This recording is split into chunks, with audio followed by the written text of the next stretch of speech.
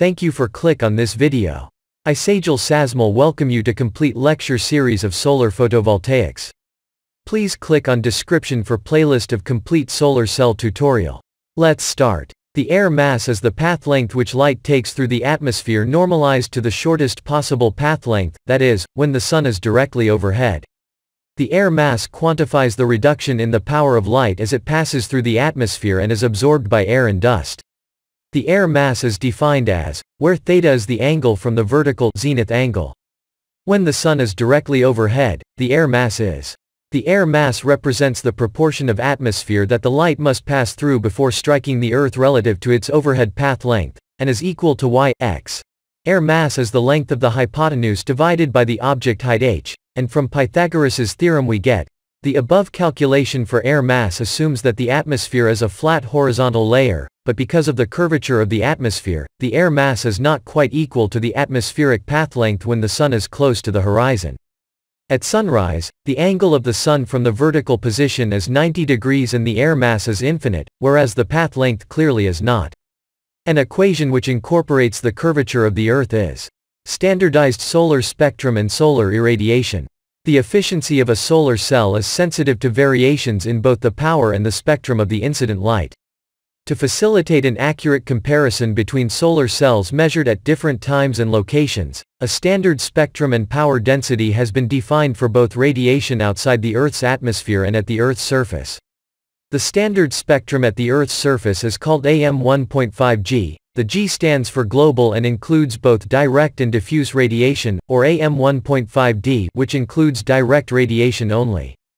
The intensity of AM 1.5D radiation can be approximated by reducing the AM0 spectrum by 28%, 18% due to absorption and 10% to scattering. The global spectrum is 10% higher than the direct spectrum. These calculations give approximately 970 watt per square meter for AM 1.5G however, the standard AM 1.5G spectrum has been normalized to give 1 kilowatt per square meter due to the convenience of the round number and the fact that there are inherently variations in incident solar radiation. The standard spectrum is listed in the appendix page. The standard spectrum outside the Earth's atmosphere is called AM0, because at no stage does the light pass through the atmosphere.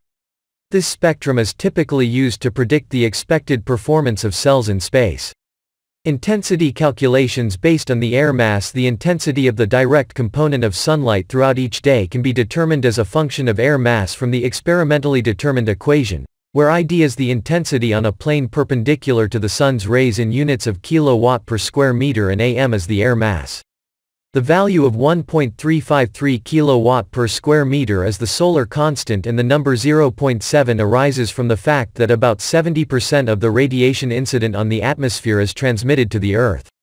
The extra power term of 0.678 is an empirical fit to the observed data and takes into account the non-uniformities in the atmospheric layers. Sunlight intensity increases with the height above sea level. The spectral content of sunlight also changes making the sky, bluer, on high mountains. Much of the southwest of the United States is 2 kilometers above sea level, adding significantly to solar insolation. A simple empirical fit to observed data 3 inaccurate to a few kilometers above sea level is given by, where a equals 0.14 and h is the location height above sea level in kilometers. Even on a clear day, the diffuse radiation is still about 10% of the direct component. Thus on a clear day the global irradiance on a module perpendicular to the sun's rays is. Thank you for watching the video. Please like and share this video. I will be so happy if you subscribe my YouTube channel. Click on description for playlist of complete solar cell tutorial.